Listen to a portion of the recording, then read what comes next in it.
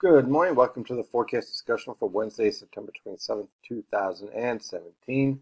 Well, we have another muggy morning out there with temperatures ranging from the upper 60s to lower 70s over the interior, lower to mid 70s along the coast, with areas of fog. Earlier this morning, visibility was below two miles in some locations, and a few isolated showers right along the coast with overcast cloud cover. As you move further inland, that cloud cover is more broken to scattered as we move away from the deepest portion of the tropical air mass that's in place.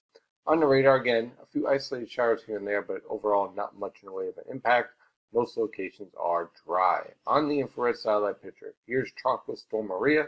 It is heading out into the Atlantic and will not have any direct impact on our region, but it is having some indirect impacts in sending a few isolated showers into the coast but for the most part, keeping the region dry. And the reason why is because on the west side of tropical low pressure systems, you usually have sinking air, and that's pretty much what is keeping us dry for today. A cold front, though, is on the way, and this cold front is pretty much going to clean house and drive the tropical air mass out of the region and bring much cooler weather to the northern mid Atlantic by the time we get to this weekend. The cold front itself won't produce much in the way of rainfall, a few isolated to widely scattered showers, but a heavy downpour is possible in a few isolated locations. The bulk of the rainfall with this cold front actually is going to be in the St. Lawrence River Valley and northern New England, where you have your strongest lifting. So let's dive into this forecast. For today, variable to overcast cloud cover, a few isolated showers along the coast can be expected. Temperatures will range from the upper 70s to lower 80s along the coast and lower to mid 80s in the Delaware River Valley and interior.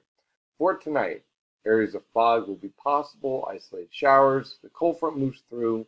By tomorrow morning, you'll see that cold front push across the region with a few isolated showers and temperatures ranging from the upper 60s to lower 70s.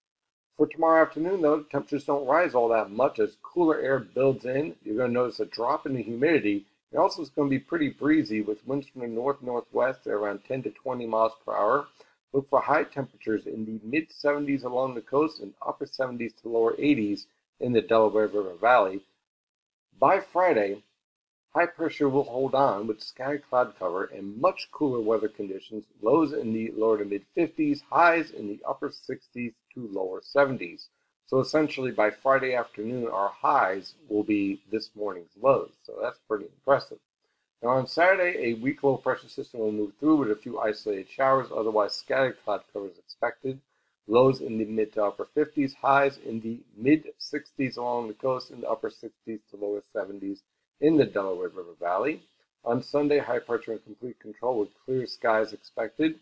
Look for lows in the upper 40s to lower 50s over the interior, lower to mid 50s along the coast.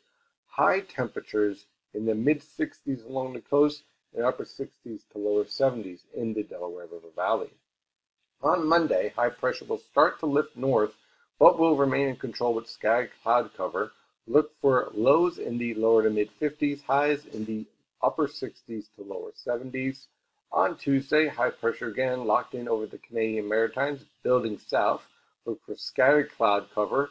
Look for lows on Tuesday in the mid to upper 50s, highs in the mid 60s along the coast and upper 60s to lower 70s in the Delaware River Valley.